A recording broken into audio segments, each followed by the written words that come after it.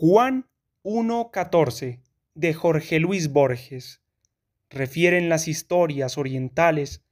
la de aquel rey del tiempo que sujeto a tedio y esplendor sale en secreto y solo a recorrer los arrabales y a perderse en la turba de las gentes de rudas manos y de oscuros nombres. Hoy, como aquel emir de los creyentes, Harún, Dios quiere andar entre los hombres y nace de una madre, como nacen los linajes que en polvo se deshacen,